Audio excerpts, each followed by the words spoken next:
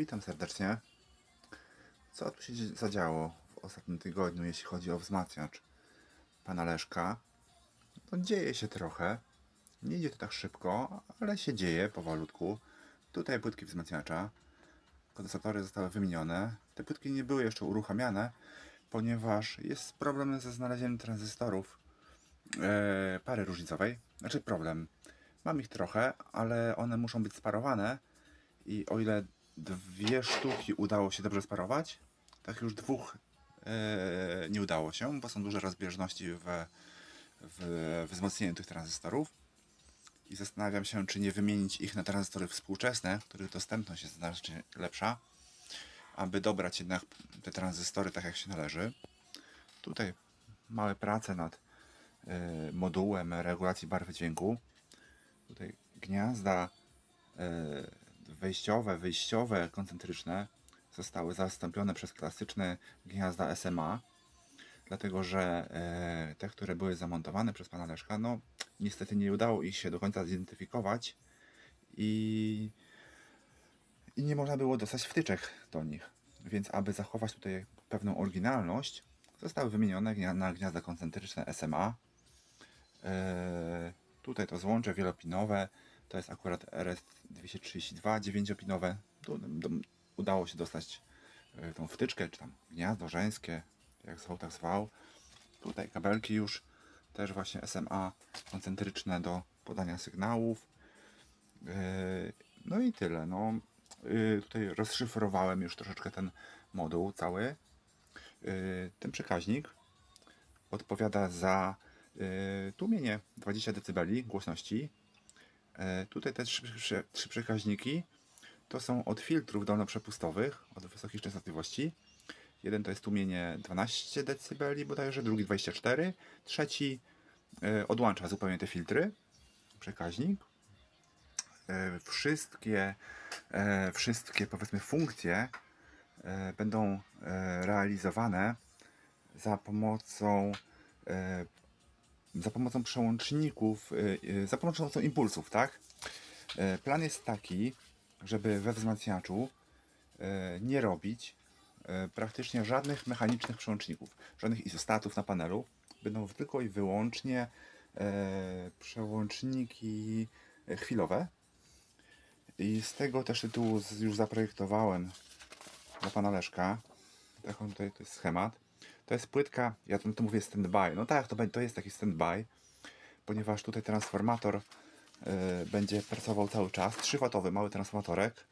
Tutaj jest akurat tak, czy tak, o tak bardziej. Jest płytka, no w powiększeniu dość dużym. O co chodzi? Ta płytka będzie realizowała funkcję włączenia całego wzmacniacza, y, włączenia głośników, y, jeśli chciałoby się słuchać na słuchawkach, to można sobie głośni- głośniki wyłączyć impulsem y, oraz ewentualną funkcję e, wyboru e, czułości wskaźników wysterowania. Tutaj są dwa układy scalone, e, tak, tutaj na tej płytce. To są przerzutniki typu D skonfigurowane e, w przerzutnik e, typu T.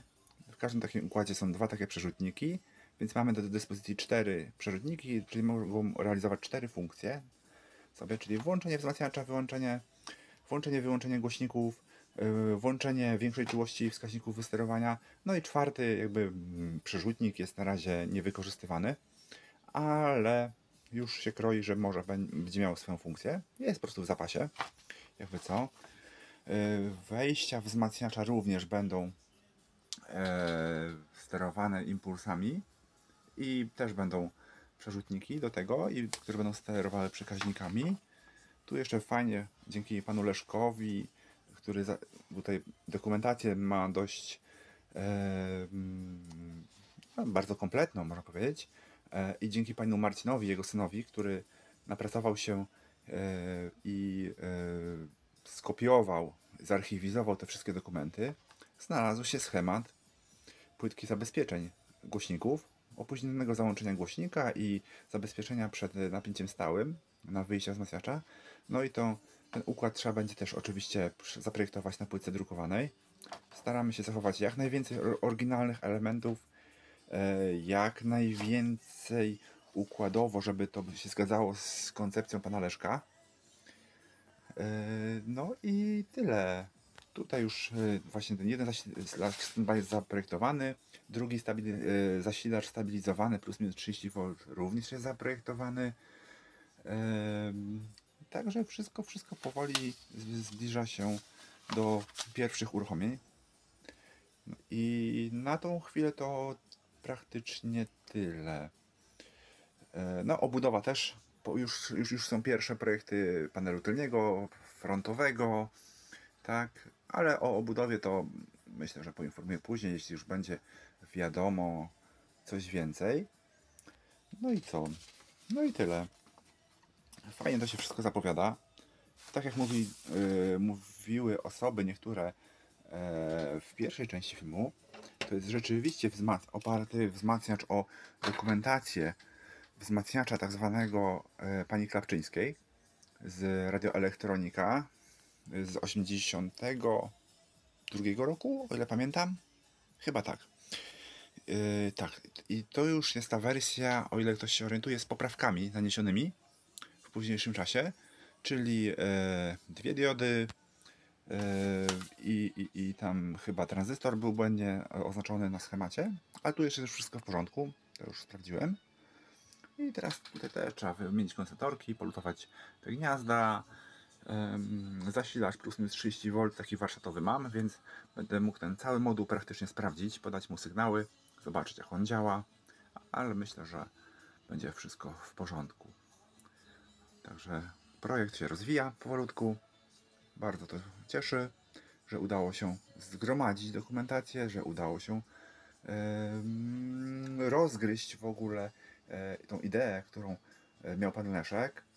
Bo tutaj właśnie kwestią były te przekaźniki na, na tym, w tym module, od czego one są, jakie ma- mają funkcje, ale już praktycznie wszystko wiadomo. Także tylko wziąć się do pracy i, i, i, i wszystko to poskładać. Mam nadzieję, że będzie fajnie. Także pozdrawiam wszystkich serdecznie i do zobaczenia w kolejnym e, materiale. Być może już z jakimś uruchomionym modułem